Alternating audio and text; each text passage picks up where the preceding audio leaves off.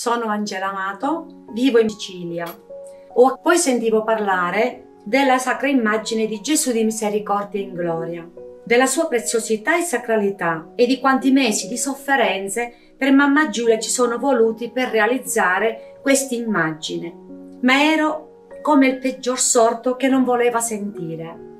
Pensavo, è troppo costoso, non lo voglio.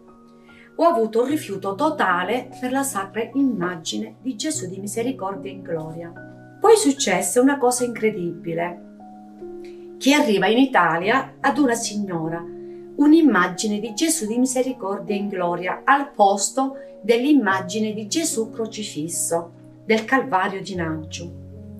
Antonella mi chiama dicendomi se volevo acquistare quell'immagine con la scritta in italiano.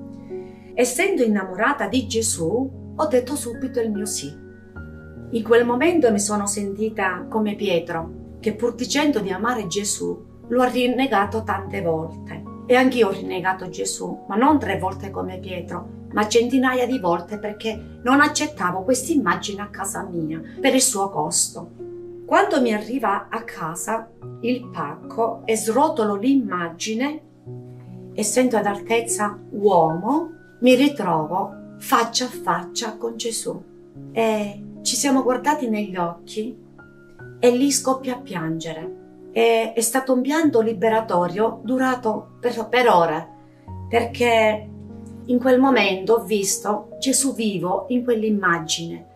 Leggendo la Sacra Scrittura, eh, nella Bibbia una frase mi è sempre colpito, l'Apocalisse 3:20, quando Gesù dice, ecco, io sto alla porta e busso, se, que- se qualcuno mi ascolta la mia voce e mi apre la porta, io verrò da lui, cenerò con lui e lui cenerà con me. In, quella, eh, in quel momento quella frase mi viene davanti perché Gesù ha bussato non solo alla mia porta, ma anche al mio cuore.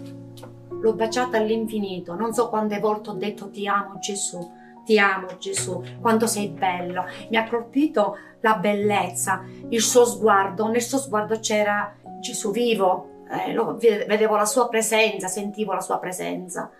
E mentre baciavo Gesù della misericordia in gloria nella sua sacra immagine, la mia brutta tosse dovuta a uno spasmo bronchiale allergico è immediatamente scomparsa. Poi mi torna in mente quando in un messaggio Gesù dice a mamma Giulia, la mia presenza è viva in quell'immagine e io posso testimoniare che Gesù di misericordia in gloria è vivo in questo sguardo, in questa immagine.